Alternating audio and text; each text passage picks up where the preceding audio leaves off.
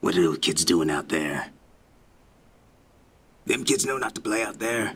There's no ground out there. It's all space. Too much space. Space is scary. Not like how the video games have you believe. Space is a scary place.